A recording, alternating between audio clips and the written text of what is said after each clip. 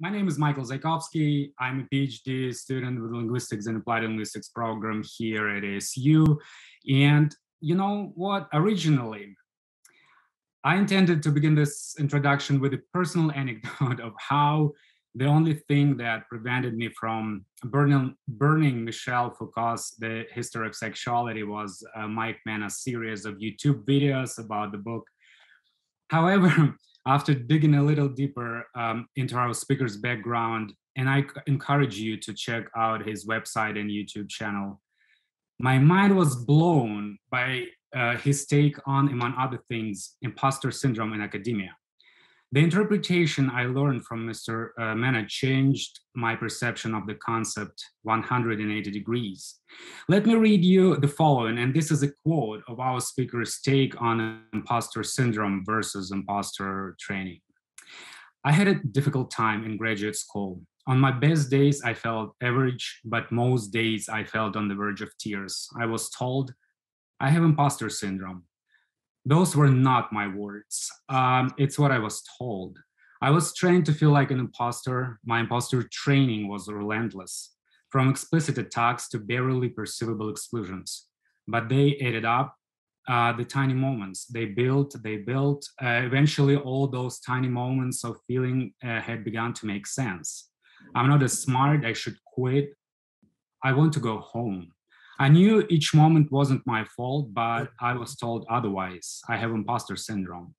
But those were not my words. Never again. End quote. Um, I, you know, I personally always thought that a personal touch is something academia has been very reluctant to allow. However, we are beginning to see signs of change and more attention to our shared humanity. For these reasons, uh, it is Mr. Mr. Role as a public academic, just one of the many hats that he wears that is especially dear to my heart. Yes, we need more and more research. We should constantly improve our teaching. However, what we are in urgent need of are people uh, who are translate and explain complex theories and concepts while acting as bridges between academia and the real world of human life and language, real world. It is an honor and a privilege to have him here today. Please join me in welcoming teacher, linguistic anthropologist, academic YouTuber, educational technologist, and public academic uh, Mike Mena. Thank you so much for that introduction and that um, that callback to some of my very old first videos that I ever made. I'm actually going to talk a little bit about how those videos uh, came about in in just a little bit. So, again, uh, welcome everyone to today's presentation. Uh, what we're calling the future of language-related disciplines, theory, practice, and social media. So, some quick things about myself. My name is Mike Mena, once again, PhD candidate of linguistic anthropology, and I look at race, language, and inequality in the context of higher education. So those are my formal credentials, so to speak, the, the, the elevator speech, in other words. But I think the real reason that I'm here today uh, is that I run every aspect of the YouTube channel named The Social Life of Language. Uh, this is, um, and we'll look at it in, in just a little bit. This is a language and race public education project where I cover singular peer reviewed articles or chapters from academic books and then translate them for a general audience, whatever that is.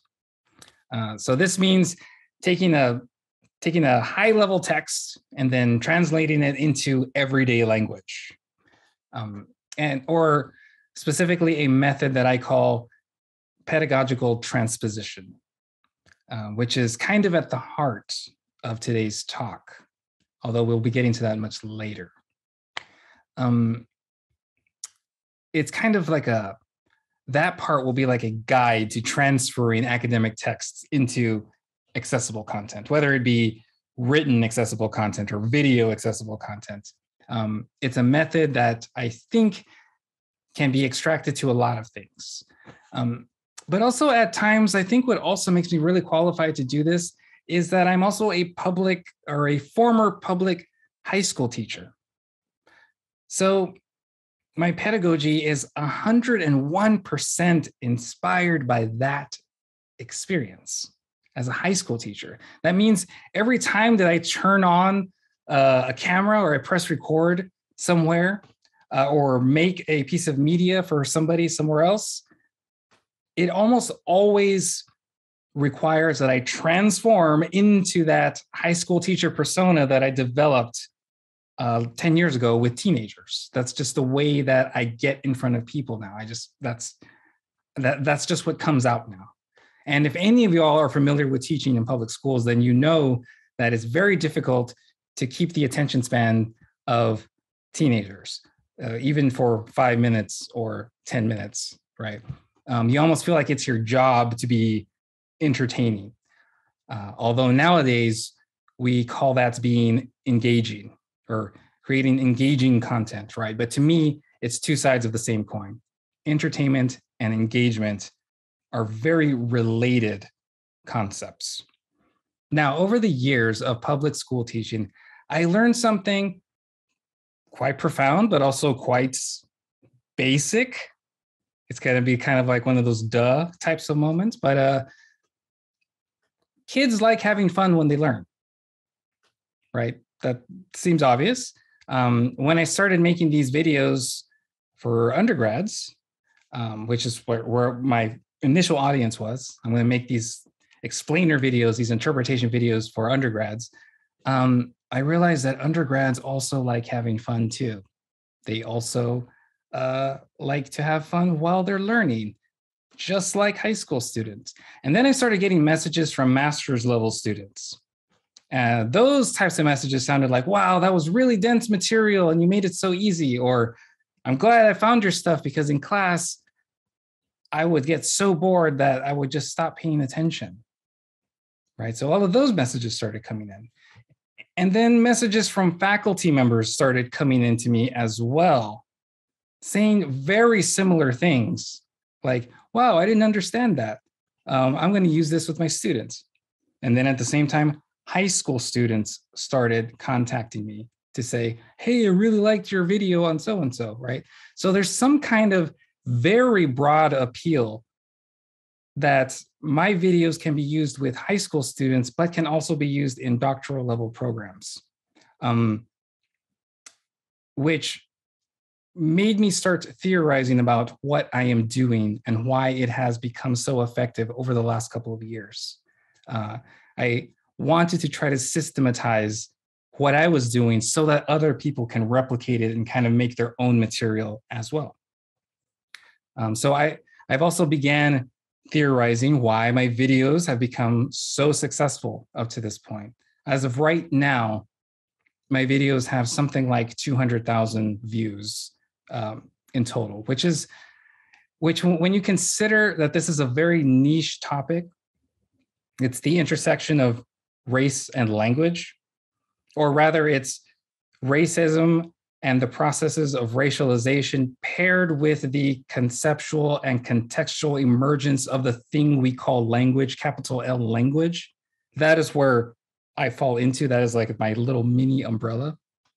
Um, considering how specialty of a of a niche that is, I'm really surprised at how fast these videos have gotten popular. And on top of that, I talk about racism half the time. Racism is not exactly a popular topic to approach in the United States in general, anywhere, right? Um, but there's something very surprising there that, for whatever reason, people are getting really into these videos. And I think it's just it's because nothing is coming off condescending. Um, and I'm taking the audience very seriously as if they were sitting in a co- in a college class with me, despite what age they are. The inspiration to the YouTube channel itself uh, was very simple. I wanted to learn from teachers that prioritized the experience of learning more so than the content, the experience of learning that would help connect to me as a person, at a personal level, as a, at a cultural level, I wanted some kind of connection with my teacher. I identified as Mexican American. I came from Mexican filled schools. I went to an Hispanic serving institution. Um, I was surrounded by my people, so to speak. And then I came to New York uh, for a doctoral program. And unfortunately, that is not what I experienced in New York at, at all.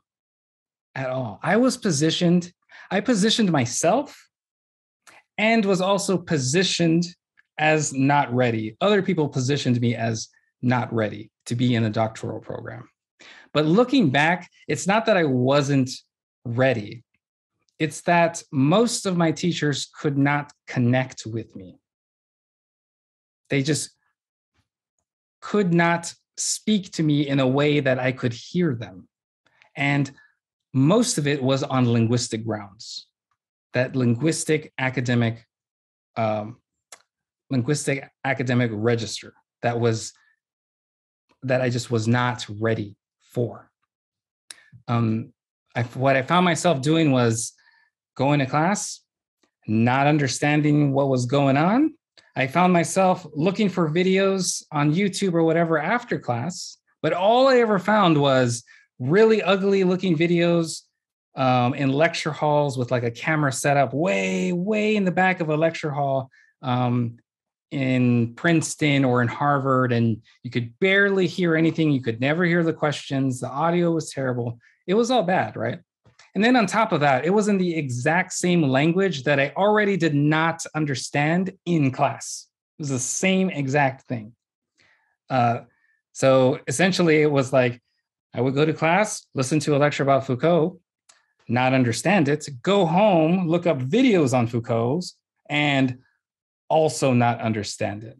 And that was a really dangerous experience for me personally, because I wanted to quit grad school because I had no resources. I had nobody to just show me, like, what, what does he mean when he says these like very basic sounding vocabulary words, but be, but in the theory of Foucault, they are not basic vocabulary words. They're often wrapped in all of this other huge web of theory. And it just felt too hard, too hard. Now, from being a former high school teacher, I already knew that when I taught material to other people, to my students, I felt like I understood things much better. So, like the side effect of teaching people, I would accidentally like teach myself something and really, really understand things myself when I taught other people. So I thought, you know what? I'm going to make videos on Foucault and I'm going to make it as easy to understand as possible. Um, just the way I would if I was forced to teach Foucault to high school students. Uh, I'm not going to assume that they have already had classes on Foucault or that they've already had philosophy courses or that they have advanced degrees in philosophy. I'm going to teach in my voice, just like me, just the way I would teach it, to marginalized and racialized students who are not necessarily comfortable in speaking with academic language, with the academic register. And so I did. I covered one of Foucault's books, chapter by chapter, keyword by keyword. And the videos overall pretty much exploded. Um, from that point, I was suddenly positioned as a specialist on Foucault, and I was invited to talk to classes. All, all, these grad courses wanted me to come in. Hey, Mike, can you come and explain this stuff about Foucault? My students aren't understanding. You do it better. Blah blah blah.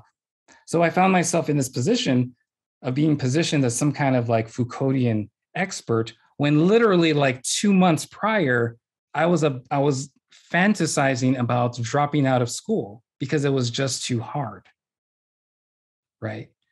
Um, granted, being positioned as an expert as a PhD student, very, very junior PhD student, um, that brought along its, its own problems. But more importantly, it affirmed to me that it wasn't the actual material that was too hard. It was the fact that I felt alienated by the pedagogy, the classroom experience specifically. I specifically felt alienated by the academic linguistic register. That was the problem for me. That was my barrier. I also didn't like the way researchers often presented information in this like radically abstract level, completely outside of context, right? Um, which also had the effect of positioning the professor or the teacher as themselves outside of context. Um, as in, they presented themselves as objective researchers, objective presenters of knowledge, right? But some of my favorite parts of the academy um, and, and of being in the academy is the drama between academics. Like I'm talking the infighting, the gossip, like the publishing the one guy publishes an article then this other guy publishes, publishes an article against them and they go back and forth and you know other people get in and it's almost like a little you know rumble between academics i find those things so fascinating it's not necessarily because i like gossip but it's because it showed me that actually you know what academics are kind of regular people like they're regular people, they get their feelings hurt. They want to have the last word. They're willing to publicly, you know, go after fellow academics, whether it's professionally or not. And, and a lot of and all of it is wrapped in very professional language, right? But but you can you can you can feel the annoyance and the anger in there.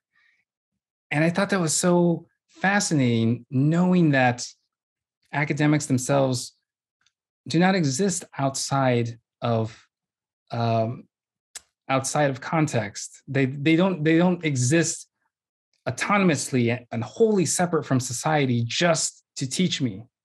They have their own biases. They have things that they don't like. They have other academics that they do, that they don't like either. Um, and that's what I wanted. I wanted somebody real. I wanted somebody to connect to me on a real level. I wanted somebody to say, hey, Mike, you know what? This article is really boring, but it's really important and you need to learn it. And I'll tell you why afterwards. Just focus on it. I know it's, I know it's hard. I know it's, I know you'll struggle to get through it, but it's really important and we'll talk about it later. If somebody were to just tell me that, it would have helped the experience of engaging in text so much easier for me. I needed somebody to tell me, as both as an academic, as a young academic, but also as a real person, I needed that connection there. So I wanted to show you um, first about seven minutes of a video covering a seminal text in linguistic anthropology and in also a lot of other disciplines, a lot of social theory disciplines, humanities. It covers a little old book uh, by philosopher J.L. Austin uh, called How to Do Things with Words on the topic of performatives or performative language. One of the most important texts in language philosophy of our times, no doubt. Uh, pretty much standard reading for many, many disciplines. Um, so, and anytime you hear the word performative uh, or stuff alluding to language performing action, a lot of times it links right back to J.L. Austin. Even people like Judith Butler have revamped J.L. Austin's work as well, right? J.L. Austin's theory is in the background of a lot of language theory. It's there. Um, but there's a problem. There is a big problem with this text. This book, uh, or the text, is based off written lectures delivered at Harvard in the 1950s. It reads like a lecture delivered at Harvard in the 1950s. It is dense, it is boring. It has about 20, 30 keywords, 30 categories presented throughout the book. It is super dense. At the same time, this book changed everything for me. I know that this book was totally formative to me as a theorist. Um, one of my favorite books of all time. But how do I take a text that's written in the 1950s by a white dude in Harvard. How do I make that text relevant to students in the 2020s? And that's what I try to do here. Let's watch and see how I do it. Then this is kind of also an introduction to those who have never seen my work before. This is generally what you can expect to see from it. Let me pull up a share screen and we can double check that everybody's muted as well. I think uh, Derek Keith might be. And yeah, I think everybody else is muted. Okay, so this is J.L. Austin. And we're only going to watch about six minutes, I believe. And this is me bringing a work from the 1950s into the 2020s.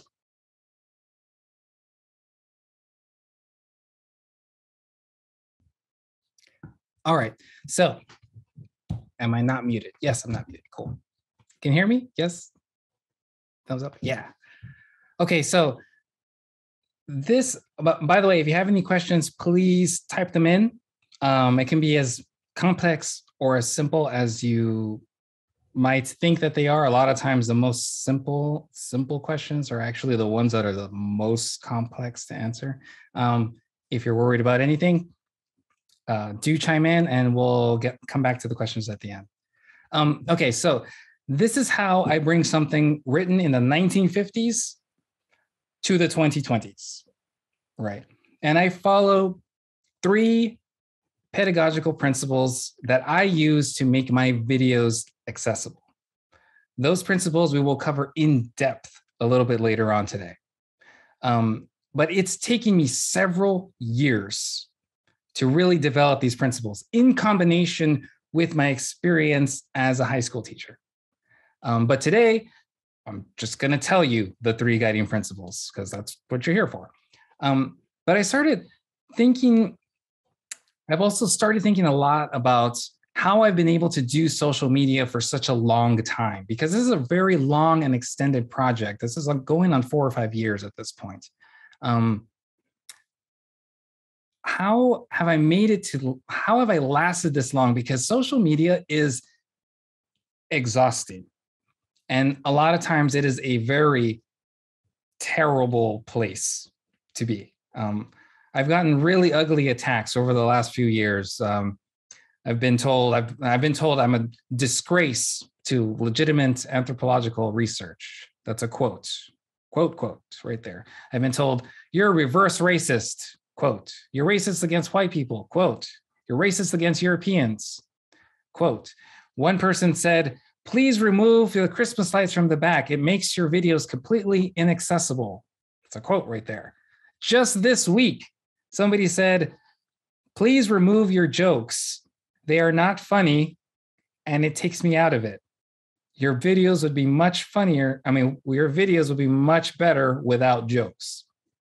See, there's there's there's going to be people complaining about everything, right? Um, all of these. Oh, and, and then on top of that, 100%, I'm not exaggerating here, 100% of all the negative comments that I've ever gotten all of them, judging from their names and their pictures and their social media profiles, 100% of them come from older white men. That can't be a coincidence after like 30 or 40, 50 times. It's only older white men that, for some reason, just have very serious problems with this kind of media. I don't know why. Um, so this, so obviously this is negative. This is a negative experience, a negative part of being a public persona. Um, but also it says something uh, very interesting, but indirectly. Um, it says that maybe having an academic voice on a huge platform like Twitter or Facebook, or in my case, YouTube, um, Instagram now has those extended videos now that um, academics are starting to put up there too. Um, maybe indirectly, this is an acknowledgement of how dangerous public education is to people like them, like those people that just absolutely hate my work. Maybe that's a hint. Maybe it's a hint that this kind of public education is very dangerous to things like racism or things like right wing ideology. Because if we're being real for the moment here, what makes right wing ideology so powerful is that these people know how to do public education the right way, as in the right wing way. They are so good at it already. They are way ahead of us. That is for sure. Um, we are in dangerous times. Um, and this is all the more reason why academics should take social media and public activism and public education more seriously. Now, I'm not saying become demagogues for your discipline. That's not what I'm saying at all. Um, but becoming public figures, um, I think it's important that we get out there. We we are willing to take some risk um, in the effort to teach people how to think critically. Um, and an important aspect of getting people on your side or calling people in to listen to you, I would say one of the first steps is not alienating your knowledge, your your audience with big specialized jargon. That is alienating to a lot of people who are not sitting in a room like this. Right. And at minimum, right wing media already knows this, already knows academic jargon is alienating. They already tapped into that a long time ago. Now, admittedly, this puts us this put this puts a lot of us in a very difficult position here. How do I explain academic concepts of my discipline without using the academic terminology of my discipline? That part's hard. That part takes a massive amount of creativity. Um, but this is why I call my approach transposition as opposed to translation. I do not use the word translation because the word translation just assumes something will be lost in translation, that stuff will need to be dumbed down or need to be simplified. Right? I do not believe this. And all of my videos do not dumb things down. None of them. But I transpose every single video as opposed to translate. Um, so that leaves it to us as educators. We have to make decisions as educators about important how important a particular piece of terminology is or or or a very like specialist word or phrase. For example how important is it for a student to memorize the keywords infelicitous performative performatives versus felicitous for performatives? Or is it just more important that they know how performatives function in the world? Or maybe we can just call them happy versus unhappy or even better yet why don't we just use smiley smiley face emojis and a sad face emoji like the way I did in my video? I don't think that takes away anything. When the student knows how the performative works, the the fact that I use emojis is kind of beside the point. If they can go into the classroom and explain how, how when and where a performative is happy or unhappy, that's the important part. So today, like I said, I'm going to give you my three guiding principles to making video essays out of academic texts. However, these, these three guiding principles can be applied to any kind of educational content that you want to make, that you want to make and you expect for it to be consumed by a general audience.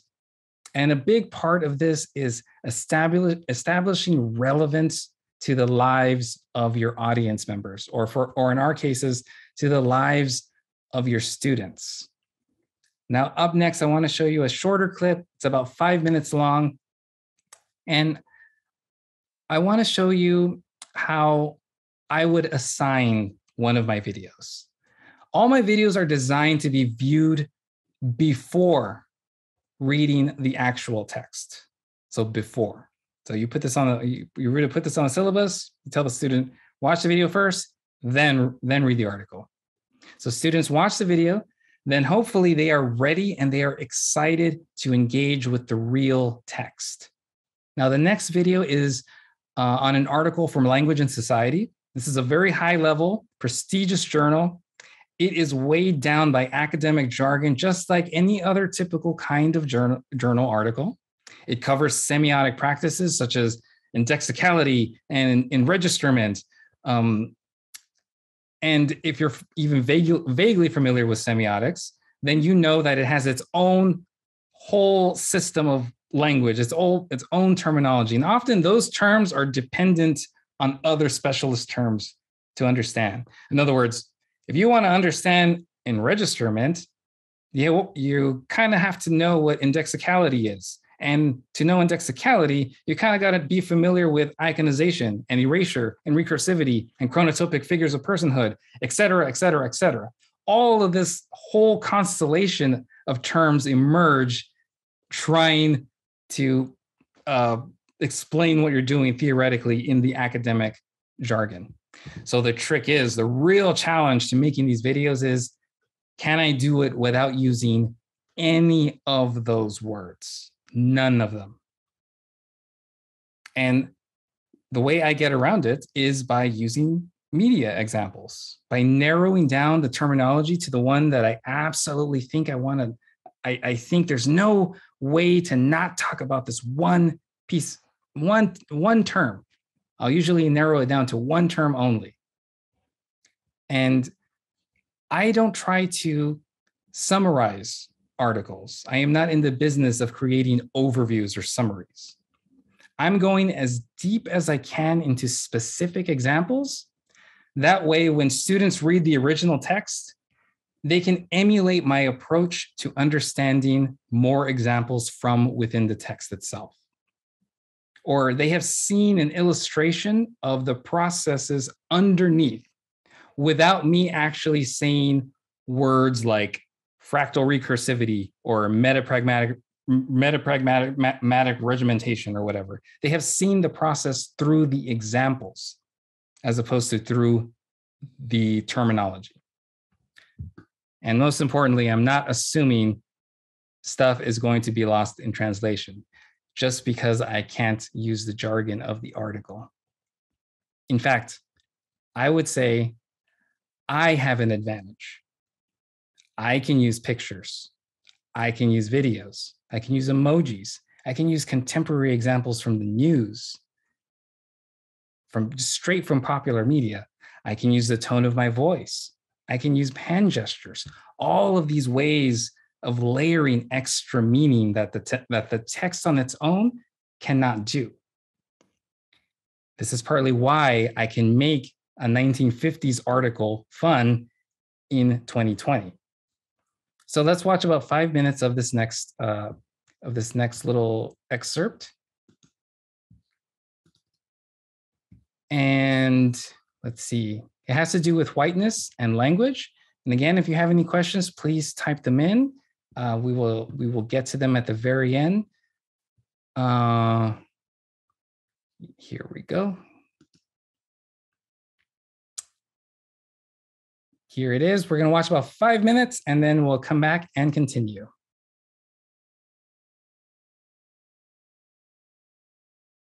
So that that was a video on mock white girl talk, um, which there are plenty of examples of mock white girl talk all over the internet. But the part that is skipped is the process the processes by which it, they emerge and are disseminated.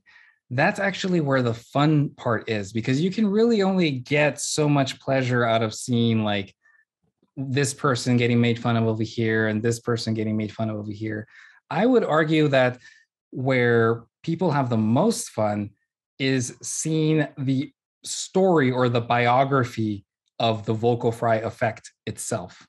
Um, so that's where i tend to create the interest inside of my videos. So I've made about 100 videos like this. Some are public, some are private, some I only use for presentations, uh, workshops like this one.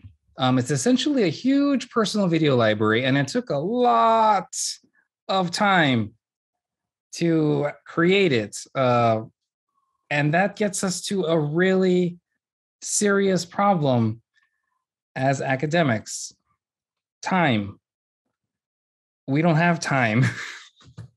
we don't have time to spend hours and hours and hours and hours producing and researching for these videos. Um, you know, academics are always short on time. They're always working with overlapping deadlines. Um, however, from here, I want to talk career stuff, um, moving into the future of higher education and kind of making the case to you that maybe this is a worthwhile uh, place to invest time moving into the future. Um, because honestly, uh, this is all well and good, and yeah, it's true. We're teaching the public, and you know that's the Lord's work and things like that. But you're not going to be getting paid for this for like a very long time. Um, so you won't see any monetary incentive for a while when you're just barely getting started off in doing any form of public education content. But I want to talk about some of the side benefits from doing this type of public education work. Because sure, it's easy to send out a few videos or, or record a few videos or send out a few tweets or whatever, but public engagement is utterly exhausting.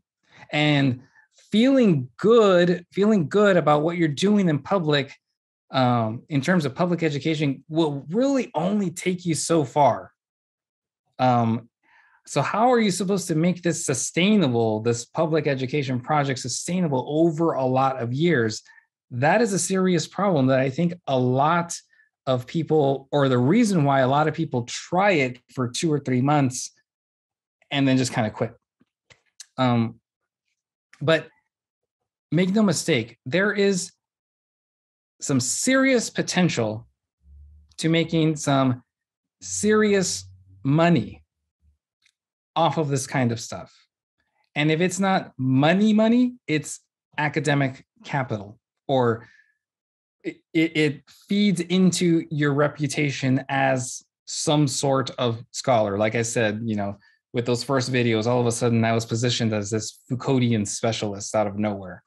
I had no idea what I was doing, but somehow that's how I was positioned. Um, so I want to talk career stuff for a few minutes. As a result of YouTube, I have gotten some pretty big grants and fellowships, including one for about $28,000 uh, from the Carnegie Foundation for being a educational technologist, is what they called it. Um, it was directly related to the YouTube channel. Um, what's kind of funny though is that I'm I'm kind of not very good at technology. Like I can work the most complex video, audio, software editing tools in the world, but if you really want to mess me up, you just tell me to try to send money on Venmo because there I'll be I'll I'll be stuck staring at my phone. I can barely even remember the password to get into my phone. Don't even ask me to send money through Venmo. It's not going to happen. I honestly want to wait for like 30 minutes while I try to get my life together. So it's interesting that I was hired as an educational technologist, but I'm actually not good at technology. Really, what we're doing here um, is we're learning a yes, a techno- technological skill, but the skill is producing accessible educational content. The skill is not becoming a computer wizard. That is like a secondary effect that comes through the process, but it's not required. So if you're worried about, you know, your technological literacy or illiteracy, I would say that's not actually a, as big of, a problem as you might think it is um, there is a gaping wide hole for this type of educational content. Now, don't get me wrong, there's a lot of people who do it. There's a lot of educational content out there, but there aren't many who prioritize accessibility. And there aren't many that prioritize uh, material written by and for the academy. Like there's a lot of pop cultural type analysis, which are good. Those are their own thing. It's not at I, I wish it was deeper. I wish it would get to a higher level to really, really dig into the social processes. There's a lot of examples about, about mock white girl language and vocal fry and gendered performances of languages. Tons of examples and explanations about what it is, but you have nothing in terms of theoretical approaches to why society creates things like mock white girl. That is where the gap is. There's nothing there it's one of the thing is it's one thing to identify examples it's another thing to explain the social processes through which such examples emerge. And also just to encourage the audience to do their own kinds of social analysis. Um, and this and this is kind of where i position myself or at least have been positioned as an explainer of social processes. Um, and i would suggest the social process is where the fun is, not the examples. It's the social processes that that is the interesting stuff that'll get people to come back more and more for more videos over and over and over again. And then back to career stuff. I want to talk about the recent displacement of the traditional academic conference, particularly during this continuation or afterlife of the COVID 19 pandemic, right? It's not the same. Um, I'm sure many of you here have attended a, a, a remote academic conference over the last couple years. Uh, they're not super fun. I think they're way too long. I think they're tiring. Um, and it's because they're trying to emulate the real life conference experience, but on a computer. So instead of tailoring the academic conference um, to the digital experience, uh, they're doing something else when I think they should be really focusing on making the conferences faster and expect shorter attention spans because that's the way we consume media. That's the way we sit at a computer this is why, in my opinion, we can't just record ourselves saying our lectures to a webcam and tell students to watch it and expect any sort of amazing effects from it. It's just not the same as watching a person talk in real life. It needs to be, it needs to, something else, it needs more to replace the real life classroom experience. Lectures need to be tailored to be consumed online, where there is a different set of normative behaviors, of normative ways of consuming knowledge. So when it comes to digital teaching uh, and digital public education, I think it means that we need to rethink the category lecture. We need to rethink what a lecture is when it comes to being online because I strongly believe that if we want our material to call people in, to be inspiring to people, to make them want to learn, the lecture format is not going to work. Something else is needed, which is what I've been working on the something else. We also got to acknowledge, though, that the benefits of digital conferences and public talks um, there are some benefits. I've gotten to see, you know, some superstars that I would have never gotten to see. Some of my personal academic heroes, right? Um, I probably would have never seen them in real life. Um, however, for junior scholars, I'm not sure much has changed in the way that we disseminate research in our field, except that maybe junior scholars are more disadvantaged, more disadvantaged traditionally, we show up to a conference and we talk to a room full of people. At least that's the way we imagine conferences to go, right? We're going to show up and we're going to talk to a whole bunch of people in our rooms. Um, when we're junior scholars, uh, you know, we kind of have a different experience in that we tend to talk to empty rooms and the only thing that feels worse than speaking to an empty room in real life is speaking to an empty room on Zoom. right? Or how about speaking on a Saturday morning at a conference when everyone just went out to the local bars the Friday night? Right? How about being a brand new scholar and also talking on Saturday morning and nobody knows who you are? In reality, a lot of times at conferences, you talk to 10 people at a time. Five of those people are on the panel with you, right? We should consider how much that experience costs on your wallets, like actual like monetary cost. Undergraduates don't really go to conferences because, well, how much does it cost to get there? Right? Probably $500 for a plane ticket, probably another $500 for a few nights at a hotel. Don't forget the $200 uh, registration fee, right? Essentially, you're paying to talk to 10 people and to purchase a line for your CV. On top of that, these conferences aren't even attended by the general public, right? You can make you can make the argument that conferences are for academics to disseminate uh, their work to other academics. Perhaps that is a legitimate argument. Um, but this is just assuming undergrads or the general public wouldn't like to attend our conferences.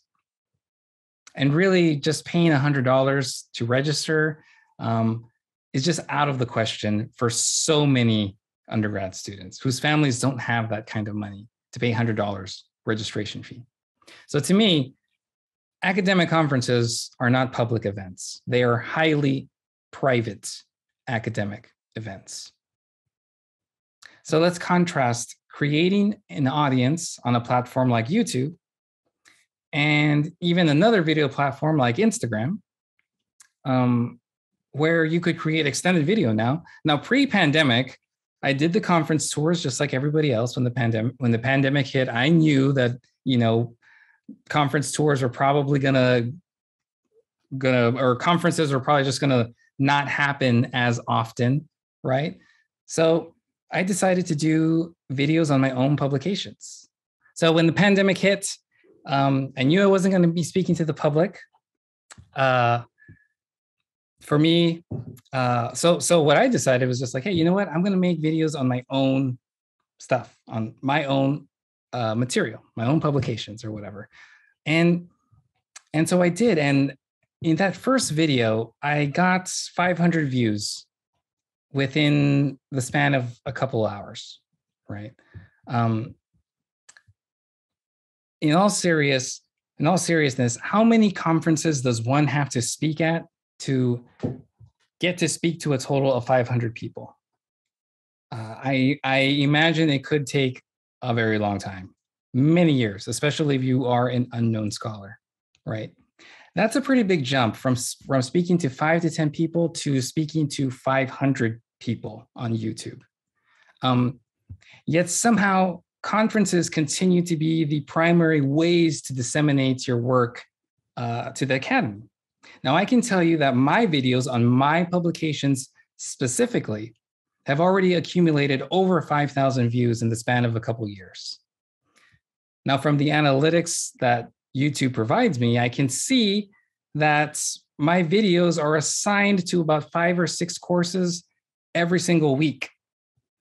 Uh, it kind of just tells me that on YouTube. It tells me like, oh, there's a spike of like 50, 60 views within like the span of two hours right? Um, that doesn't just randomly happen that 50 or 60 people from the same state uh, find my videos at the same time. Um, so, and then also faculty members have also started sending me their syllabi to show me how they use my videos. It's not just my teaching style, it's because public educational content dealing specifically with theories of language and society don't really exist. So they have they almost have to assign my stuff because there isn't anything else. But that's good for people like us, people that are sitting in this room. There is an audience there just waiting for you to walk in and take over. The audience is ready made, and all you got to do is press record and start making your own stuff. There is an audience there. Now, because of these videos, I've also been invited to speak on a bunch of podcasts, uh, published in books, published in journals. Um, I've been offered postdocs. Um, like I said, I've gotten a lot of little grants, a lot of big grants between 500, 1000, 2500, $4,000, uh, all to help me do what I do. But perhaps the most important part of all of that, besides the money, is the academic capital that has accrued from the channel itself. I don't know exactly um, uh, uh, what I was just saying earlier. I didn't know who recommended me to speak here to ASU. I couldn't tell you. I didn't ask anyone to to hook me up. The email just showed up in my in, in my inbox, just like the way it always does. A couple weeks ago was Columbia University, uh, University of London, Dallas ISD. In this sense, social media not, has not only afforded a public platform, but it also gave me a platform within the language related disciplines themselves, which can be very powerful for a junior scholar. You can almost skip the conference circuits if you wanted to, or if you wanted to try that. Now, don't misconstrue that with uh, don't ever do conferences because I do do conferences, but now I'm much more selective about what I do and what I don't do. Now, I should also put my YouTuber subscriber count in perspective. I have 48 4,860 subscribers right now. That is technically a tiny channel on YouTube. That's tiny in the sense that normal people have 50,000 subscribers or 500,000 or 5 million subscribers, right? However, let's think of 4,600 subscribers as my subscribers as people mostly within the disciplines of linguistic anthropology, sociolinguistics, and linguistics. In that sense, even if just 100 of those people are active faculty members or active uh, or are writing right now, they're actively pub, uh, publishing, that 100 people are the people that are assigning my work in their classes or citing me in their journal articles um, all of that just from YouTube. So if we remember that 4,800 people is actually a very concentrated audience affiliated with specifically with my disciplines, it's no wonder the academic capital has accumulated in such a potent form so quickly, despite the fact that I have a technically small subscriber count. All of that is to say that social media can be used as a public education project, but it can also become a potent form of capital for you, for your career. Um, it can spread your work widely, quickly, especially if we're comparing it to the way we normally disseminate our work, which is through journals and journal search engines and speaking to those five, ten people at a time at conferences. Um, this is probably the reason why I've been able to do um, academic YouTubing for so long. The good feelings are nice. I like that I help people. I like that I help students. Um, but it's a lot of work. And I don't know if I would have gone this far if I hadn't started getting all of these grants and all these invitations and all of these, you know, extra side benefits. So there's real academic capital to accumulate here. Um, just recently, I was invited to come out on an NPR par- M- NPR podcast. Last year, I gave my first keynote address. A keynote address for someone that does not have a PhD yet, that that is unusual. So recognizing my responsibility as a public figure now, this is why I now make it a point to make sure that I cover publications from scholars of color. So I dedicate half of my content to scholars of color. And that's just a decision that I made, um, especially because a lot of research on language doesn't pay attention to race a lot of times. It's still a problem. Okay. So, up next, uh, we're going to watch uh, a longer video. And this one is going to be specifically on the transposition pedagogy or the movement from academic text to public educational content. Um, so keep in mind that this is technically for video makers, but it can be applied to any kind of material written to be consumed by a general audience. Um, in fact, I've been invited to collaborate on this big project where we're going to use this transposition uh, pedagogy. Hopefully, like that comes out within this this year, but I'm thinking next year. Um, so importantly, uh, like I said, I don't think video lectures, video lectures in the traditional sense are going to be the way of the future. So I'm going to propose we move towards something I call a creative video essay. And hopefully by the end of this video, you'll kind of get the gist of it. I'll be sending out this link to everybody in an email afterwards, with, uh, along with some other resources that you can also look at. Um, but this is more or less the pedagogical method that I use with every single one of my videos, which I think has been pretty successful up to this point. Now, if you want to uh, turn your camera off and get a snack, now would be the time to do it.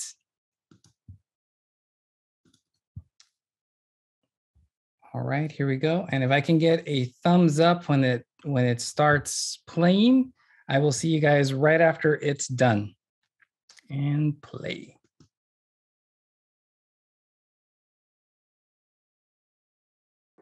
Okay, so that was the that was the gist of transposition. Um, video essays, uh, quite different from video lectures, and I don't think they're totally hard to make. Just as long as you follow these simple principles, right? Which is don't assume your audience has done any homework for you.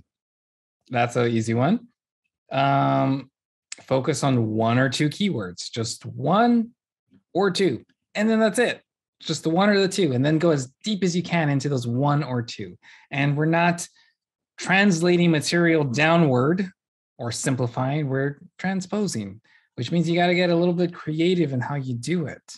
And that also means we're not overviewing, we're not summarizing, we're aiming for depth. Because honestly, if I had to bet money, I am pretty sure students really don't actually like overviews.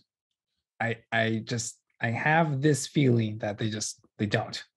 Uh, I could be wrong, but there it is. Well, that is all for my presentation today. It has been an absolute pleasure talking with everybody here. Um, afterwards, I'm going to send everybody a link um, to a whole bunch of other videos that I have that are on private. Um, it's on a whole bunch of different topics like how to set up your camera, what to put in your background, um, how to develop an on-screen persona, which is also relevant to how to how to uh, develop like a podcaster persona. Um, so I think there's about six or seven uh, videos that are not open to the public um, that you all will get to have and watch when, if you want to. And of course, you'll get this video too in the email. Um, and um, yeah, it's been great. It has been great. Let's look for any questions now that we have like, oh, we got a little bit of time left. See if we have any questions. Thank you so much for coming, everybody. It has been my pleasure to be here.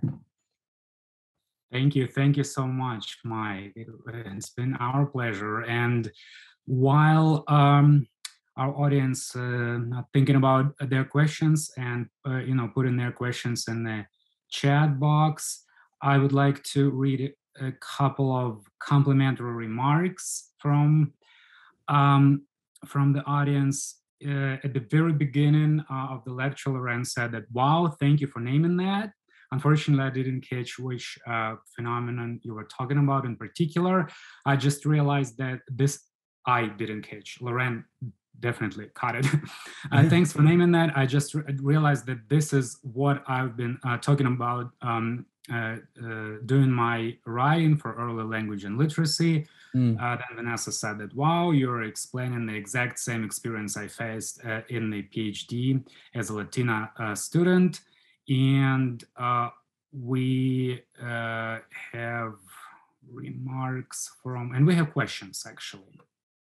Oh, mm. Oh yeah, and one more from Cindy Storstreitheren, she says that thank you so much for this amazing talk. Um, and she had to go early, but also she mentioned that uh, thank you for surviving for surviving the negative feedback to continue to teach us. Yes, because it was especially, you know, you know, it was intense. There's those, weird those people out there. Weird people. yeah. Yes. And so the questions Iqbal uh, asks, uh, can virtual uh, transposition method be the trend in the pedagogical world in the future? Yeah, I mean, I can tell you, I can tell you some vague details on a project that I'm working on that is uh, currently in the works of getting funded.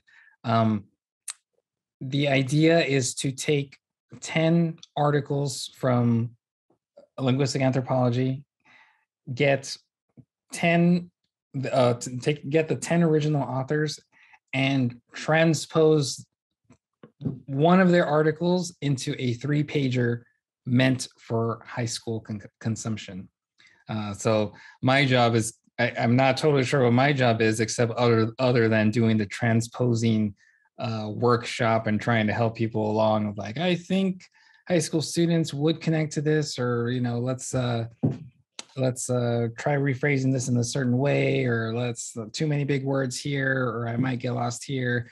Um, so yeah, I definitely do think that uh, this thing that I'm calling transposition is um I I think it could be catchy if people do indeed, you know, catch on to it. Because another way I explain it, um, aside from the musical key idea, is imagine that you have a song that you want to play, but you have to switch out the instruments. So you take the guitar away and then you give them a flute, you know. Play play all the same notes, but it's a flute how are you and the flute is what the high school student likes to hear like that is their favorite instrument. So you have to learn how to play what you're normally used to playing on a guitar you got to learn how to play it on the flute. Um, so yeah I, I, think it's um i think it'll catch on. I well i mean at least I, I hope so. It wasn't really one of my dreams or anything. It just so happened that through all of these years and putting together okay, this doesn't work. This definitely works. When my mom, I'll give you an example. My mom the other day, not the other day, this last year, she sent a Christmas letter where she dropped the phrase semiotic affordances. Just out of nowhere, in her Christmas letter, she's like, "Oh, and we were gifted with the with the with the semiotic affordances of so and so and so." Right? If my mom understands my work I feel like I'm doing a good job. You know, she's a nurse. She, she's a nurse. She is not a semiotician. She's not a linguist. you know, she she hasn't been she hasn't been in college in like 10, 15 years. Um, but if my mom can know or correctly use what uh, the the phrase semiotic affordance, I think that says a lot about the pedagogy itself. There's some there, I'm doing something right here, and eventually if i could meet up with other educators that would like to expand upon it and maybe even make the method even better that would be great. Unfortunately there's just not that many people who, who do what i do in the digital world yet or at least the way that i do it but yeah I, i'm i'm hopeful. I'm hopeful that it that that it becomes a, a bigger thing in the future. I think it could. Yes, thank you so much. And uh, Robert asks, um, is repeatedly cutting out sections of the video intended to move it along more quickly? And does that uh, take a lot of time to edit? Yes. So this is one of these things where you have to be highly conscious of how students and the public consume media. I could leave all of the silences between all of my word, all of my sentences, right? But if if you noticed, I probably cut out every single breath mark. There is absolutely there's like zero silences anywhere in there, right? That's not that's not solely my stylistic choice, that is me being conscious of the way YouTube looks. That platform looks a certain way. So I emulate the aesthetics and the style of that platform because I know it works there. And when somebody gets on YouTube, that's what they're expecting. That that's what they want, in other words, or at least that's what I'm assuming they want.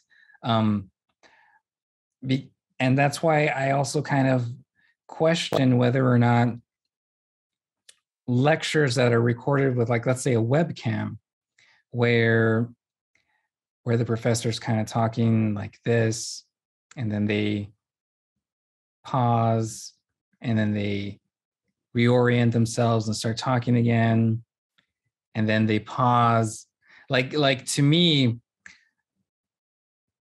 as a youtube consumer that consumes youtube a lot that's used to media that's just like fast jump cuts cut out every single breath cut out everything that feels so slow to me. It feels like a slow motion type of, of lecture video which is which i think is part of the problem part of the reason why left and academic type of uh, educational content hasn't caught on yet is because they must pay attention to the aesthetic of the platform that they are on.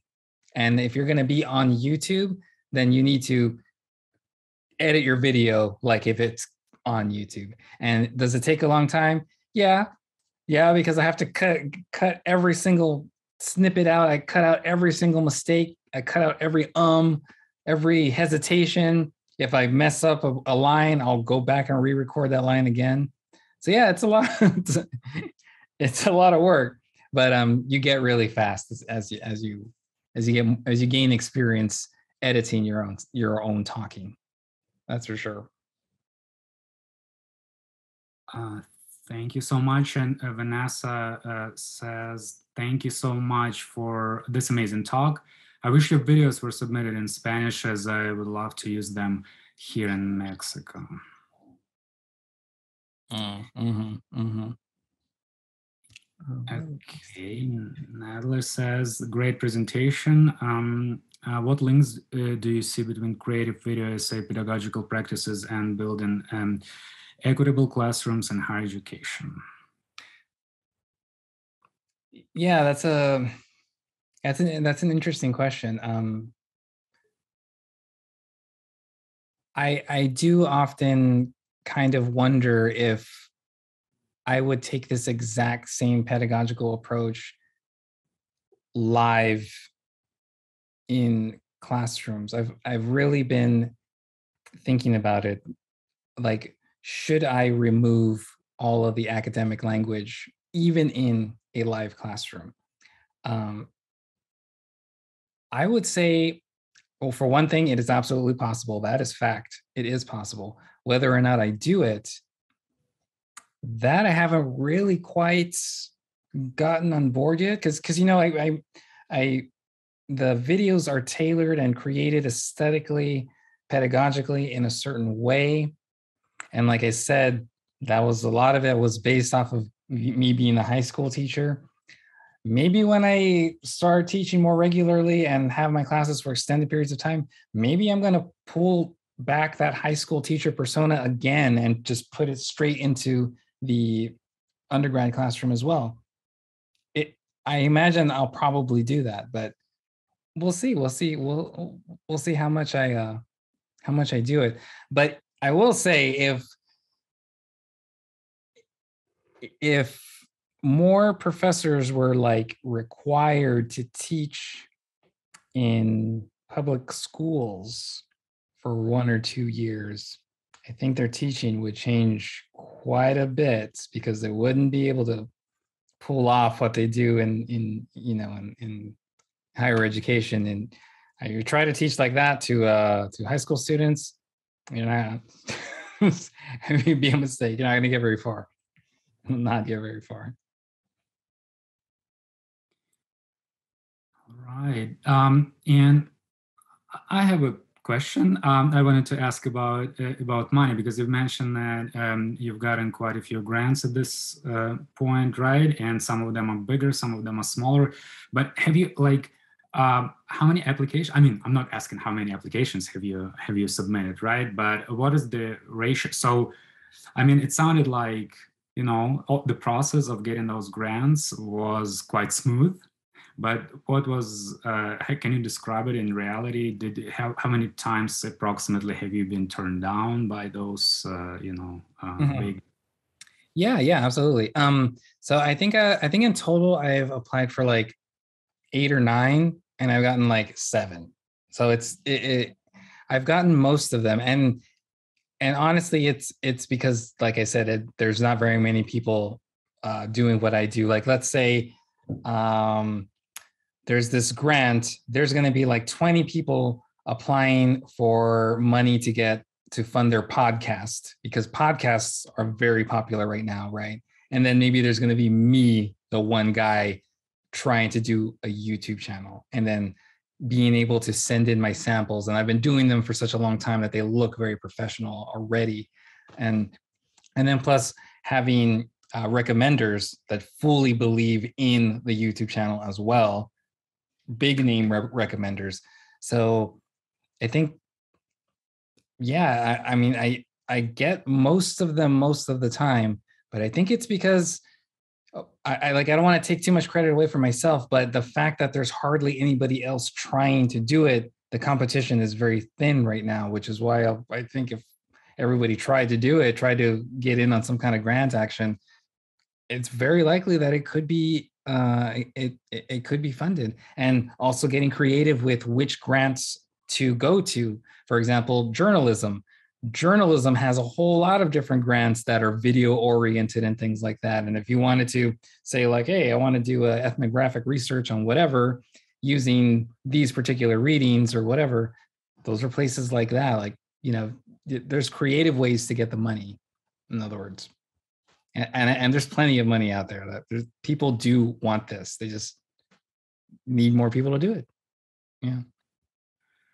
All right, we have uh, two more minutes and a question from Anne. Um, mm-hmm.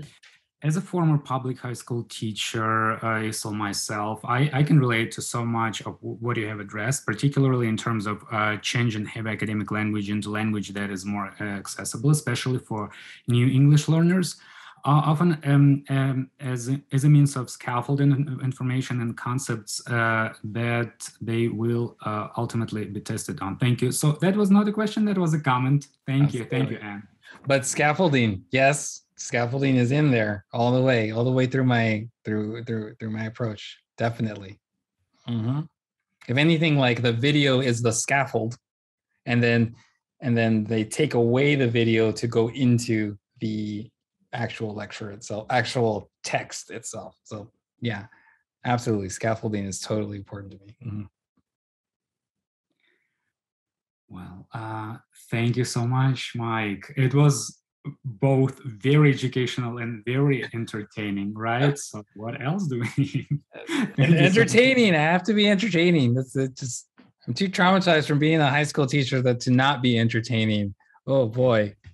Oh boy but yeah, it was it was really fun being here. Thanks everyone. Give yourselves a round of applause for listening to me talk for two whole hours. It's one of the longest presentations I've ever done. Two hours in a row. Whew, that's good. so thanks everybody for your uh, for your attention span and all that too.